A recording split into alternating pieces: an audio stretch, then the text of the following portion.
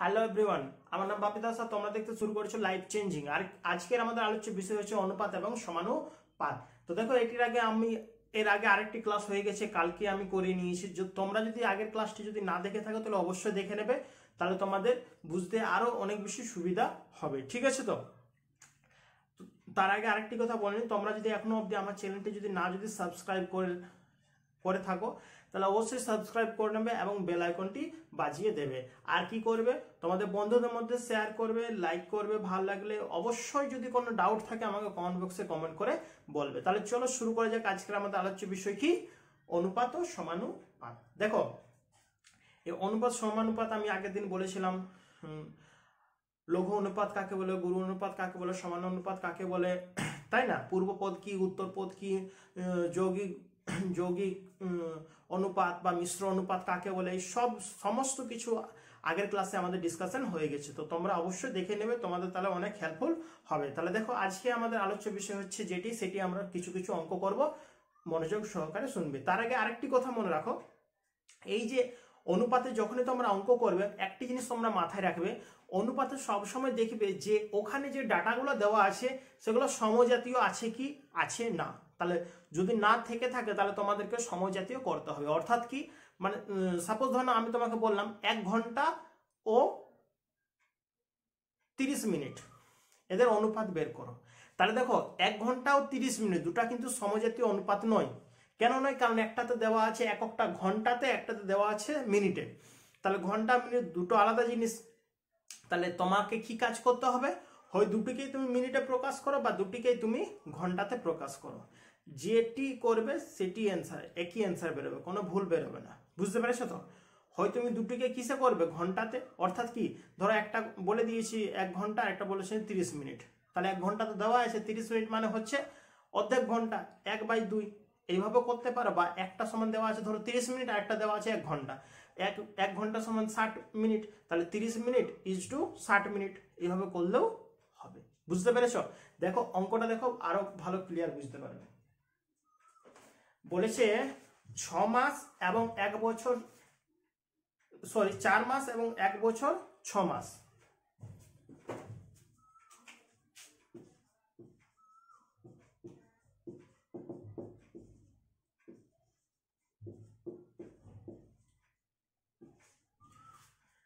অর্থাৎ কি? চার মাস এবং এক বছর ছ মাস এই দুটি অনুপাত বের করতে হবে। তাহলে দেখো এটি মাসে দেওয়া আছে, এটিকেও আমরা মাসে বের করে নেব। এক বছর মানে হচ্ছে বারো মাস, আর তার সঙ্গে আরও ছয় যোগ করলে বারো ছয়, আঠারো মাস। বুঝতে পেরেছ? তাহলে এই দুটি অনুপাত করলে কি হবে? চার ইস টু আঠেরো। এরপর তুমি ডিরেক্টলি কাটাকাটি করতে পারো বা এইটাকে লবে এটাকে হরে লিখে নিয়ে তারপর কাটাকাটি করতে পারে, এমনি করতে পারে। দেখো, আমি এমনি করছি, দুই দিয়ে কাটছি। দুই দিয়ে চার, দুই নয় আঠেরো। আর যাবে কি, দুটোই কাটাকাটি, না যাচ্ছে না, কারণ এটি হচ্ছে মৌলিক সংখ্যা। আর এটি হচ্ছে একটি যৌগিক সংখ্যা। তো মৌলিক সংখ্যা, যৌগিক সংখ্যা দিয়ে কাটাকাটি যায়, না যাওয়াটা নয়, কিন্তু এখানে দেখো আর যাচ্ছে না। অর্থাৎ কি, এই দুটো অনুপাত কত দাঁড়াল? টু ইজ টু নাইন বুঝতে পেরেছ? টু ইজ টু নাইন তাহলে দেখো এইভাবে অঙ্কগুলো করতে হবে। অর্থাৎ কি? সবচেয়ে আগে তোমাকে সমজাতীয় রাশিতে দুটিকে প্রকাশ করতে হবে, তবেই অঙ্কগুলি হবে। নাহলে কিন্তু অঙ্কগুলো মিলবে না। অঙ্কগুলি হবেই না, ওটা কোনো প্রসেসই না। বুঝতে পেরেছ? দেখো, আরেকটি অঙ্ক আছে, দেখো। পঁচাত্তর পয়সা এবং এক টাকা পঁচিশ পয়সা।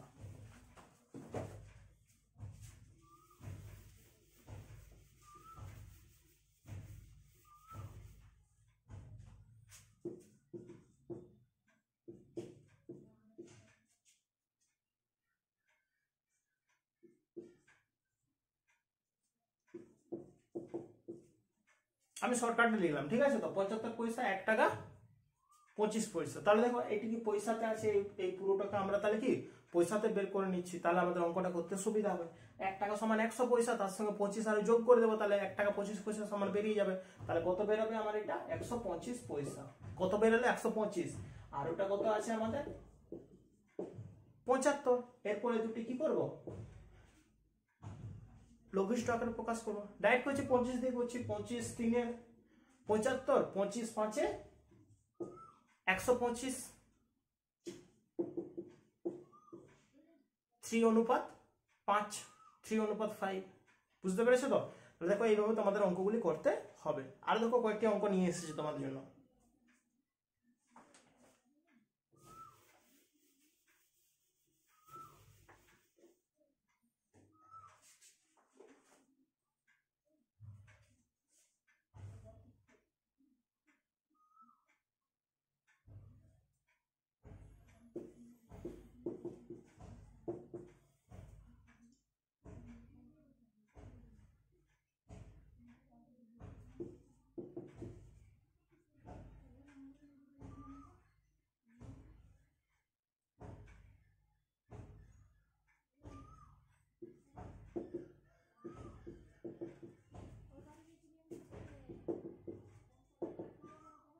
দেখো বলে দিয়েছি কি, a ইজ টু বি সমান সমান থ্রি ইজ টু ফোর এবং b is to C equals to two is to three তাহলে আমাকে a is to B is to C বের করতে হবে।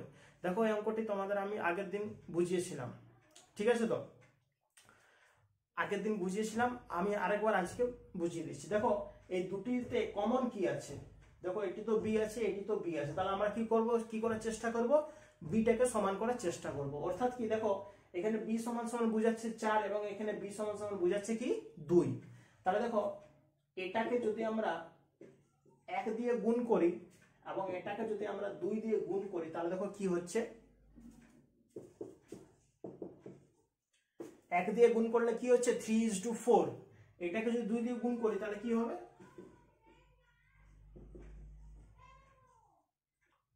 Four is to six. দুই দিয়ে দুটোকেই গুণ করতে হবে, বুঝতে পেরেছ তো? Four is to six. তাহলে দেখো, এখানে বি দুটার মান কি হচ্ছে? সমান হয়ে যাচ্ছে।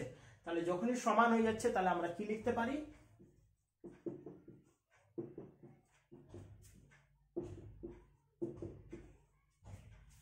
Three is to four is to six. এ মানে বুঝাচ্ছে থ্রি। দেখো, দুটিতে বি মানে বুঝাচ্ছে ফোর, আর সি মানে হতো হচ্ছে সিক্স। বুঝতে পেরেছ তো? এইভাবে তোমরা অঙ্কগুলি করতে পারো। বা সাপোজ এখানে যদি এ ইজ টু সি এর মান বের করতে বলতো। তখন এ আর সি লিখতাম, এ মানে হতো তিন, আর সি মানে হতো চার। এই সরি সি মানে হতো সিক্স তখন কি হতো? থ্রি ইজ টু সিক্স তারপর ওটার আরও কাটাকাটি যেত। বুঝতে পেরেছ তো? প্রশ্নে যদি ওইভাবে বলতো, অর্থাৎ প্রশ্নে যদি এইচ টু সি বের করতে বলতো, তখন আমরা কি লিখতাম? থ্রি অনুপাত সিক্স এ সমান বোঝাচ্ছে থ্রি সি মানে বুঝাচ্ছে সিক্স দেখো এই দুটো কাটাকাটি হয়ে যাচ্ছে। তাহলে এ অনুপাত সি সমান সমান আমাদের কত বুঝাচ্ছে? ওয়ান ইজ টু টু বুঝতে পেরেছ তো? দেখো খুবই সহজ পদ্ধতিতে আমি তোমাদের বুঝাচ্ছি। ডাউট থাকলে, বিন্দুমাত্র ডাউট থাকলে অবশ্যই আমাকে কমেন্ট বক্সে তোমরা কমেন্ট করে বলবে। ঠিক আছে?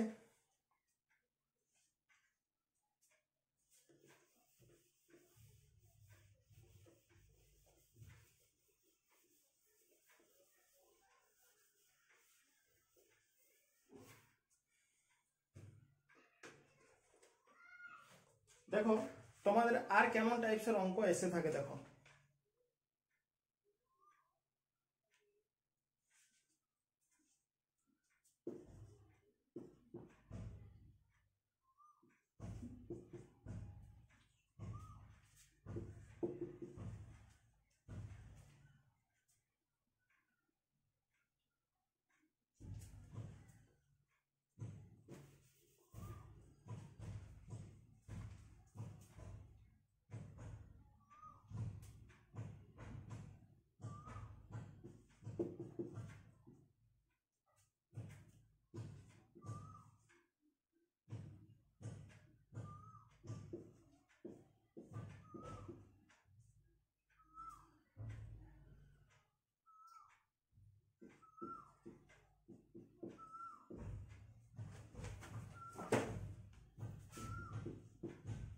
দেখো x is to y equals to three is to four হতে গেলে এইটি সমান সমান কত হবে?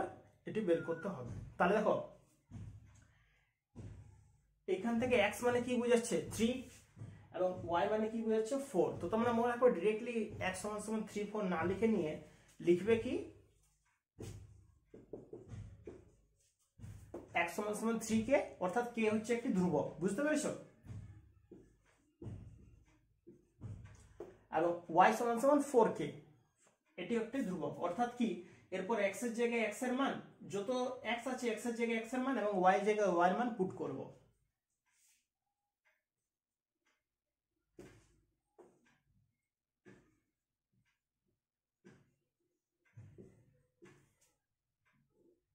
এটাকে নিচে লিখতে পারি ডিরেক্ট নিচে করে দিচ্ছি।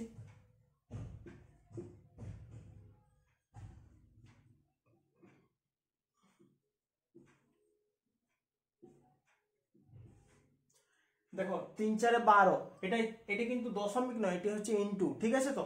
তিন চারে বারো বারো থেকে তিন বিয়োগ করলে কত হচ্ছে? নাইন কে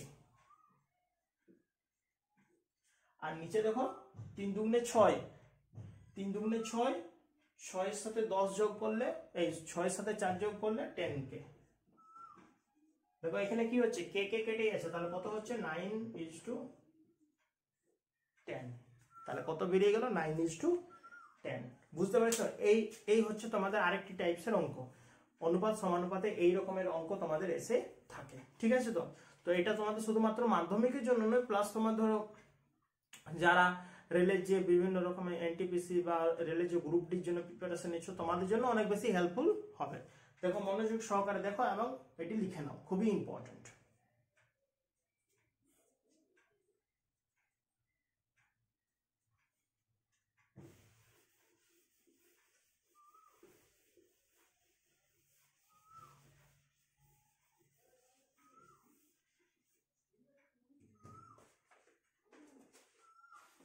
দেখো আরেকটি আরেক টাইপসের অঙ্ক দেখো।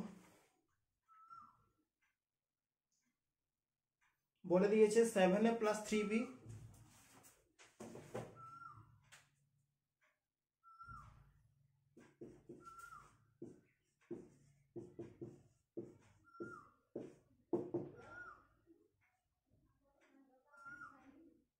five A minus three B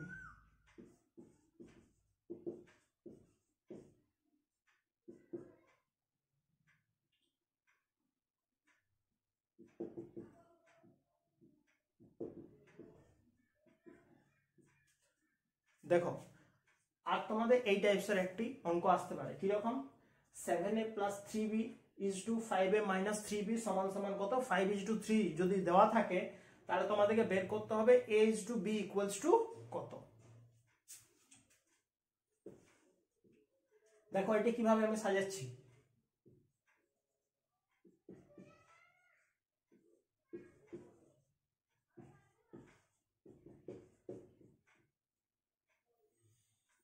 এটা বাই এটা সমান সমান এটা বাই এটা, আমরা এটা লিখতে পারি, ঠিক আছে তো? এটার সঙ্গে এটা গুণ হবে, এটার সাথে এটা গুণ হবে।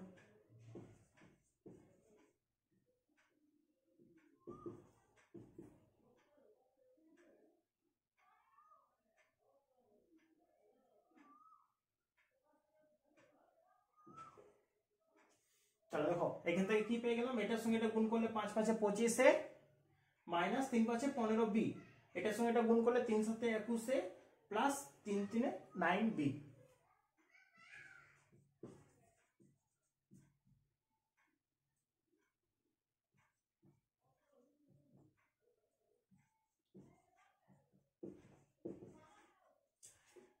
এগুলাকে একদিকে নিয়ে এলাম এবং বিটাকে আরেক পাশে নিয়ে গেলাম।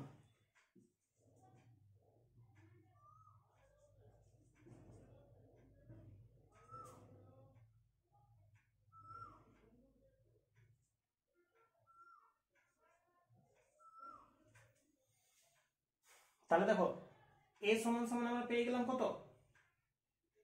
এই ফোর এ সমান সমান চব্বিশ বি বুঝতে পেরেছ? আরেকবার দেখে নি। অনেক জায়গায় ডাউট আছে কি? তিন পাশে পনেরো, তিন পাঁচে পঁচিশ পনেরো, তিন সাতে একুশ, তিন পাঁচে তিন, তিনে নয়। ঠিক আছে, কোনো গন্ডগোল নেই।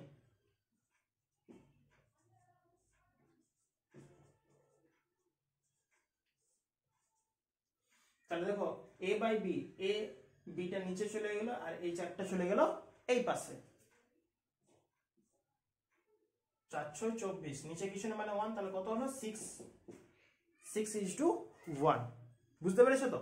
দেখো এই টাইপসের অঙ্ক তোমাদের এসে থাকে। ঠিক আছে তো? তো এগুলো তোমরা যদি একটু মনোযোগ সহকারে দেখে থাকো, তাহলে আমার মনে হয় না তোমাদের বিন্দুমাত্র প্রবলেম হবে বলে। ঠিক আছে? তাহলে দেখো তোমাদের যদি ভালো লেগে থাকে, আমার পড়ানোটা, তাহলে অবশ্যই আমার চ্যানেলটি তোমরা সাবস্ক্রাইব করবে। তোমাদের বন্ধুদের মধ্যে শেয়ার করবে, ভালো লাগলে লাইক করবে। কিছু জানার থাকলে অবশ্যই আমাকে কমেন্ট বক্সে কমেন্ট করে জানাবে। ঠিক আছে? ভালো থেকো, ধন্যবাদ।